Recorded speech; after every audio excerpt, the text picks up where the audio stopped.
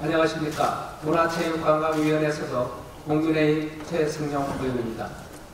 오늘 본 의원은 전문성과 일관성 없는 경기도 공익대감사제도 개선을 촉구하고자 이 자리에 섰습니다.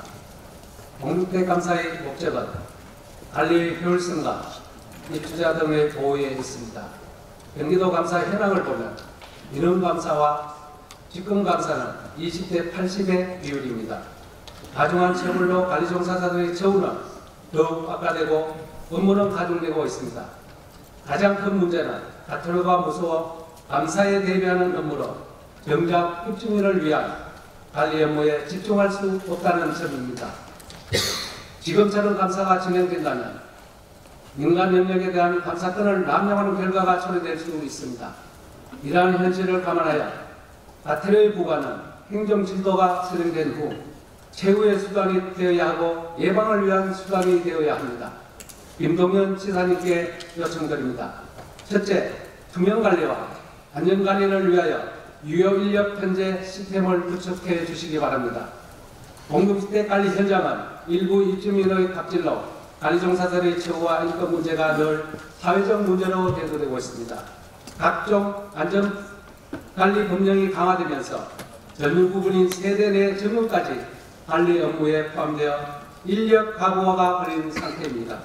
이러한 문제점을 해결하기 위하여 관리 종사자들의 근로 환경과 인권 실태 조사가 우선되어야 하며 그 결과를 토대로 근로 환경 개선과 적정 인력이 편성될 수 있는 규정과 지침을 마련하여 보다 안정된 주거복지를 구현해야 합니다. 둘째로 지자체의 감사 팀을 컨설팅 팀으로 변경하고 민간 전문가가 포함된 감사 결과 처분 심의위원회를 구성하여 주시기 바랍니다. 경기도의 담당 부서장은 감사계획과 감사결과 심의 제도를 시행하고 있다고 주장하고 있지만 현실은 현장 상황을 고려하지 않은 실적 위주의 감사가 되고 있습니다.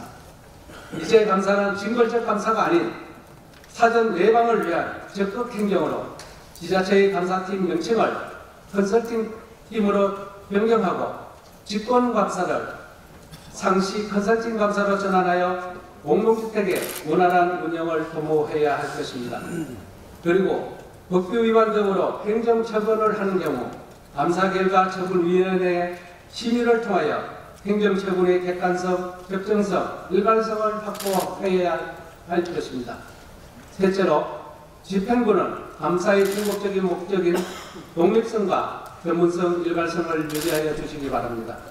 질서 위반 행위 규제법에 따르면 고의 또는 가식 없는 질서 위반 행위는 과태료를 부과하지 않도록 하고 있으며 행정조사 기본법에서는 행정조사는 법령등의 위반에 대하여 처벌보다는 법령등을 준수할 수 있도록 유도하는 데 그 중점을 두고 있습니다.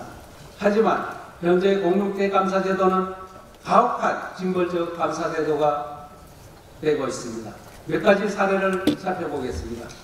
경기도와 국토부로부터 최우수 단지로 선정된 단지가 그 해에 천만 원의 과태료 처분을 받는가 하며 모 관리소장은 22년 12월에 부임하여 5개월 기간 동안 4번의 과태료를 받고 경기도 기획감사를 받는 사례도 있습니다. 배수, 배수로 듣게 교체 비용 44만 원을 부가 항목을 잘못 선택하였다야 천만 원의 과태료 처분이 있는가 하면 K 아파트에 업체 선정 결과를 단 하루 등록이 늦었다 하여 기획 감사를 받고 과태료를 받는 이해하기 어려운 사례도 비일비재합니다. 그뿐만 아니라 이러한 처분 비리, 처분은 비리가 아닌 단순 절차 위반임에도 불구하고 입주민에게 공개되어 입주민들의 불신으로 인한 새로운 갈등과 분쟁의 요인이 되고 있습니다. 이러한 이유로 유능한 관리 인력들이 현장을 이직하는 경우가 많습니다. 직원 채용조차 어려운 시점입니다. 존경하는 김동연 지사님, 경기도민의 78%가 차지하는 공동주택에서 공동주택의 안정적인 운영과 주거의 질 향상을 위하여 이제는 불합리한 감사를 지향하고 책임을 묻기보다는 입주민과 함께 아름답게 공존할 수 있는 감사 제도의 개선을 요청합니다. 저출산 초고령화 시대에 이제는 주거복지와 이주민의 삶의 질을 향상을 위한 관리가 되어야 할 때입니다. 끝으로 공동택 문제에 통합적으로 관리 예방 정도 지원할 수 있는 경기도 강력 공동택 지원센터 설립을 조속히 추- 추진해 주시기를 부탁드리겠습니다. 아울러 공동주택 제도 개선을 통하여 공동주택이 편안하면 경기도민이 행복해집니다. 끝까지 경청해 주셔서 감사합니다.